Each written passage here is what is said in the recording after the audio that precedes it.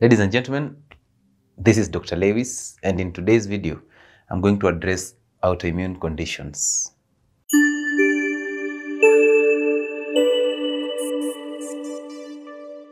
Now, we cannot talk about autoimmune conditions if we don't understand the nature of our immune system. How does the immune system work?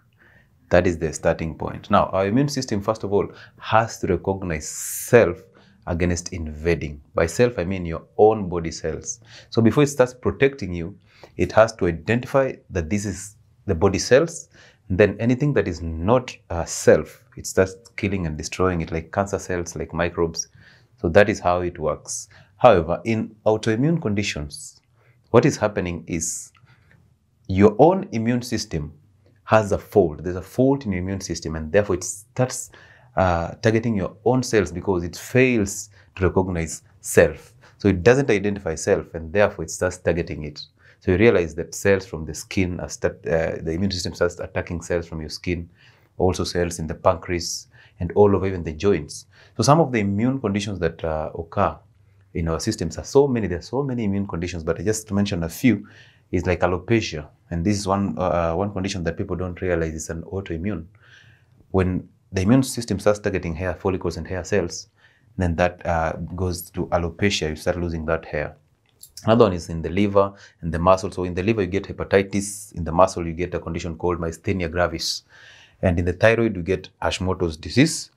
Uh, in, in the joints, you get arthritis. And also in the connective tissue, there's a condition that we most of us know is called uh, lupus. Then the, of, more, of, of importance here is in the pancreas, where we get diabetes and specifically type 1. So type 1 diabetes automatically uh, uh, the, the immune, immune cells or the pancreatic white blood cells starting to target the beta cells that produce insulin. And therefore, once it kills the pancreas or those beta cells, then you cannot produce uh, enough insulin or start having default in production of insulin. That means your blood sugar levels will be unregulated. So we'll talk about that as we head on in this video. So all these autoimmune conditions, the problem is not uh, that, that does not the problem in treatment lies in uh, where we start using uh, drugs to treat uh, these autoimmune conditions. Remember, we have a default in your immune system, and this default is basically hailing from uh, the adrenals, those glands that are on top of your kidneys. Why am I saying that? Is because during autoimmune conditions, what we do is we give drugs that are steroid in nature. Examples are dexamethasone, prednisolone, or even hydrocortisone. So once we give these uh, steroid drugs, what we are doing is we are trying to uh, prevent or slow down the overreaction or the hyperactivity of the immune system. Okay, so we are trying to slow that process down. And that's why we're giving you steroids. And remember, intrinsically, internally, you produce these adrenal hormones from the adrenal glands. These are steroid hormones from the adrenal glands, which are on top of the kidneys. So we are supplementing you external uh, um, uh, steroids because you have a fault in your adrenal glands already. So from that, we can easily know how to handle this. Because if we give you the supplementation, then what we are doing is we are trying to handle the aftermath, but we are not handling the cause. So my intention is to open up your eyes so that you realize that we need to handle the cause more than handling the aftermath. Okay? So if we handle the fault, then the aftermath will disappear. Those symptoms will disappear and you start recovering from autoimmune conditions. So the fault is in the adrenal glands. So what do we do to rejuvenate our adrenal glands? Basically, the cause of issues or uh, in the adrenal gland or the failure or this dysfunction of the adrenal glands is caused by two things. Number one is sugar directly, consumption of carbohydrates. That will affect the adrenal uh, uh, glands. That will also kill your kidneys because remember, sugar is the number one kidney killer. So once you consume those carbohydrates in plenty, then definitely you end up in adrenal failure or ad adrenal insufficiency, and therefore you'll need these steroid drugs. However, if you stop taking sugar, then you start uh, recovering from these conditions. Number two is stress. Stress now works indirectly because sugar is a direct one, but stress is indirect. How? Stress, when you have high amounts of stress, then you'll produce a hormone from the adrenals again that is called cortisol. And this cortisol hormone, what it does is it tells the liver that remember it's part of the counter-regulatory hormones that are produced in the morning to help you get glucose in the system so that you can function during uh, the early morning so that you don't eat. So what it does, cortisol uh, tells the liver to start breaking down the glycogen that is stored in the liver through glycolysis or glycogenolysis to give you glucose. Also, to start breaking any other source apart from carbohydrates or the glycogen to give you glucose. That means there will be an increase in blood glucose levels. Now, once you have an increase in blood glucose levels, what happens is that is the sugar we are talking about. So that's an indirect channel. Again, that sugar will cause an increase or a rise in blood insulin levels. And remember, insulin is also a killer of the kidney. In our previous videos, we talked about how kidneys are, uh, the effects of insulin, high insulin levels in your system. So those spikes will start also affecting your kidneys and therefore you start retaining water. That's the reason why.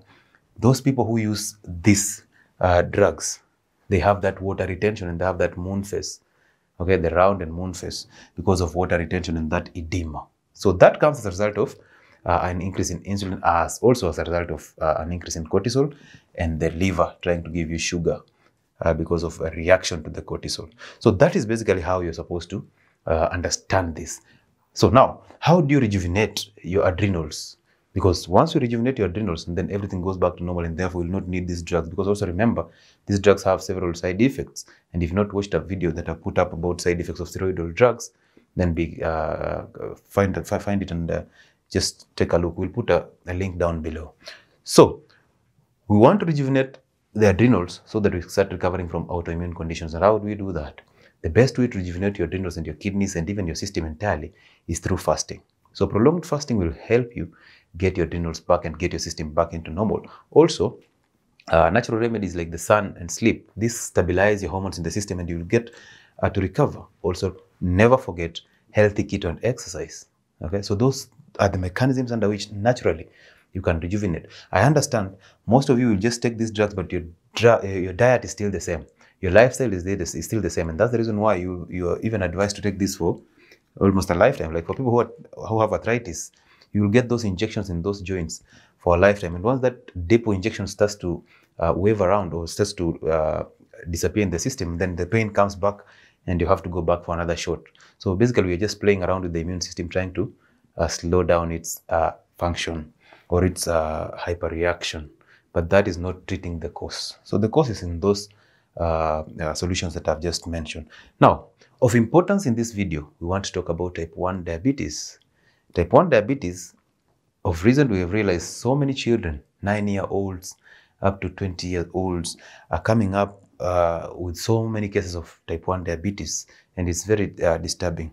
And type 1 diabetes can easily be controlled, specifically in children who totally have cells that are rapid, rapidly multiplying because of growth and development.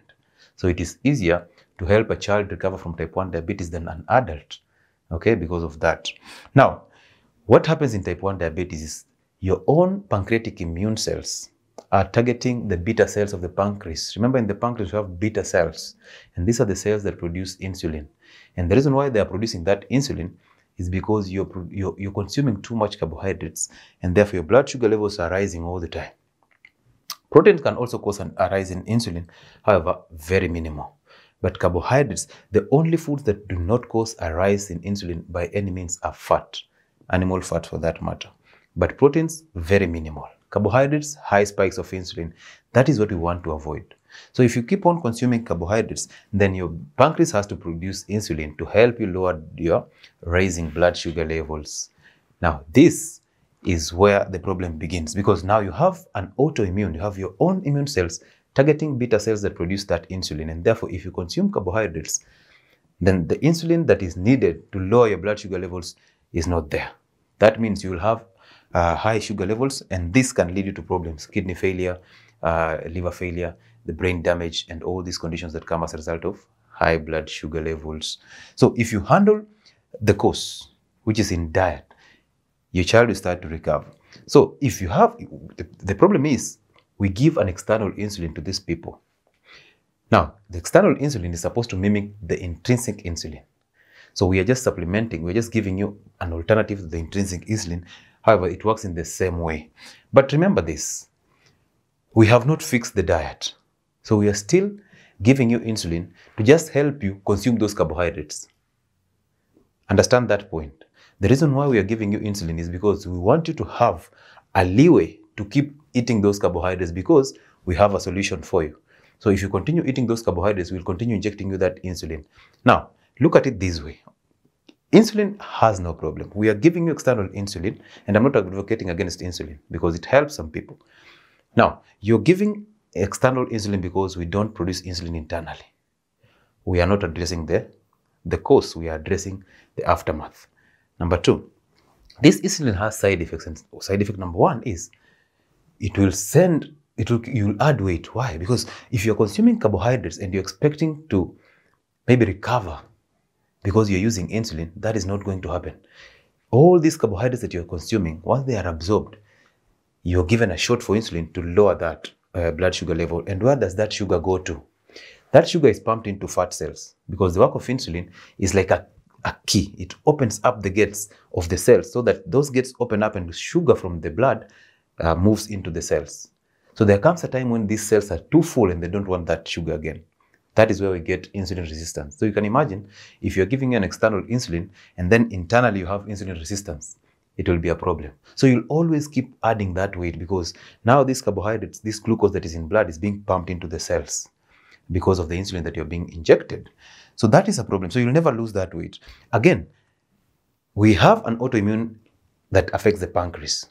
So what we want to do is we want to slow down the process of that autoimmune uh, uh, reaction so that your pancreas start to rejuvenate and then they catch up. This can happen in children. So children, when you identify this earlier, then you don't need higher doses of insulin because insulin will lead you to hypoglycemia and that is a problem. So what we want is we want to lower the amount of insulin uh, dose then fix the diet. Once we fix the diet, then that means basically let's say you're eating healthy keto, you're eating animal fat and protein and maybe vegetables. That means you will not, the, the amount of insulin that you require in your system is low. So the amount of insulin that you require from that injection is even lower. And that is how we start uh, this management.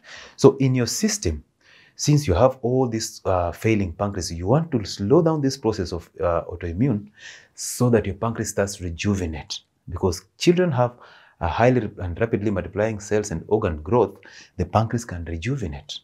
So if you keep giving them the external insulin on higher doses, that means that their pancreas will start shutting down and we don't want that. Now that will mean they will be using this insulin for a lifetime.